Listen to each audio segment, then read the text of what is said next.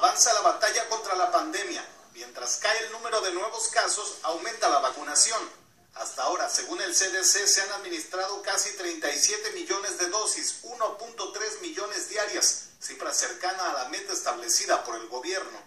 Y aunque en los centros de distribución se aprecian largas filas como esta afuera del estadio de los Yankees, la administración Biden prepara una campaña para promover la inmunización entre comunidades que han expresado su desconfianza.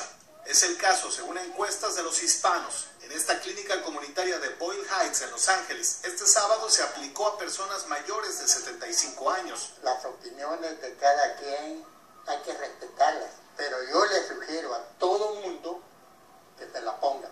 Mientras, los estados están redistribuyendo las dosis sobrantes de los centros de cuidado de adultos mayores en un esfuerzo de llegar a más gente. Además de la vacunación, otra arma contra el virus es la mascarilla y también hay noticias alentadoras, dos reportes, uno confirmando que el número de jóvenes que las porta ha crecido dramáticamente y otro que asocia la caída en las hospitalizaciones a su uso obligatorio. Pero aunque avance la lucha contra el COVID, este se resiste. Tres variantes altamente contagiosas tienen presencia ya en 33 estados, reportando más de 600 casos.